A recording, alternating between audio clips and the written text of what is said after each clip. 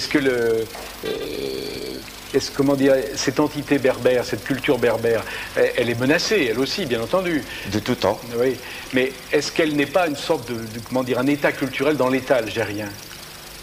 Euh, je pense que la culture berbère est la langue de tous les Algériens tout d'abord, sauf ceux qui la refusent parce qu'ils ont, ils, ils ont subi ou ils subissent encore le diktat arabo-islamique.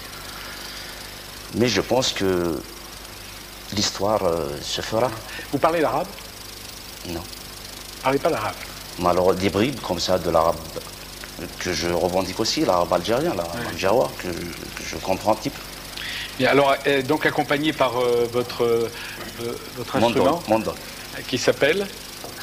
Un mondol. un mandol. Donc je me mandol. sens bien dans Oui. cet élément. Alors, qu'est-ce qu'elle dit, cette chanson en, en gros? C'est un homme, un personnage qui est confronté avec son destin devant sa propre déchéance dans un pays en rupture euh, avec ses valeurs fondamentales. Je vous écoute. Merci.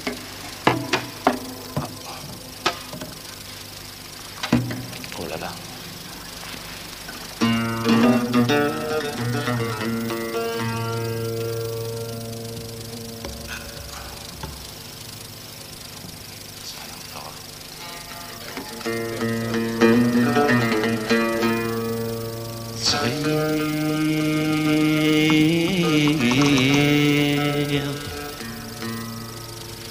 صغير تجران الليل.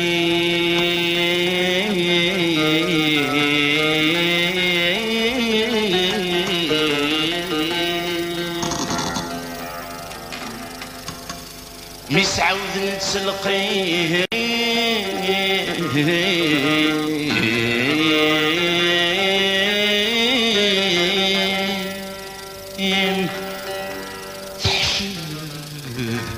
تبغى صغار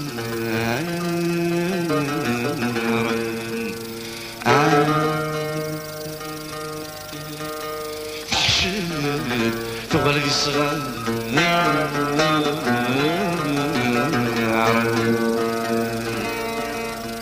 سمح لي يا الحبيب خص تسوبون الرياح عرق الشمال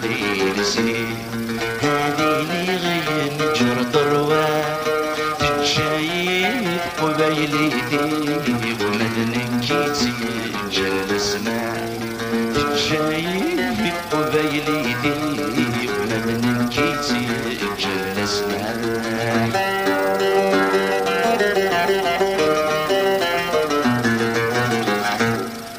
يرغعشن في غر الزهري سخيل جماد رغوان الفهيم خذ نقي غفي تمدي ثالث السلحان وقد غازك وقد غازك وقد غاينود نتسوغان ورسو في غدوة يفذن تمارا غر غر صيكس الموحان سمح في يا الحبيب خصف لا تهبون الرياح حرق الشلي نسيم هذيني غير نجر ضرواح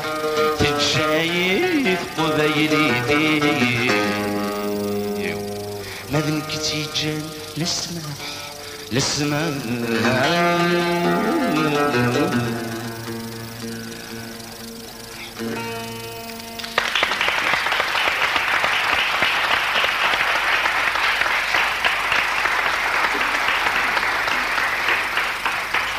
nom de tous les miens, c'est le nouvel album de Lounès Batoub, sortira le 30 avril, enfin dans quelques jours, chez Blue Silver. Puis il y a d'autres chanteurs qui sont très connus, euh, des Algériens bien sûr, mais aussi des Français qui sont en règle générale qui vivent en France, comme Idir, le chasseur de lumière chez Blue Silver aussi, c'est un chanteur kabyle, je crois aussi. Et puis, euh, le dernier album de Khaled, euh, ça- et puis ça c'était Cheb Mabi. Lui, Je crois que lui, il est en Algérie encore. euh, C'est euh, Haït Mengele, c'est chez Blue Silver aussi, c'est un chanteur euh, kabyle. Voilà. Et-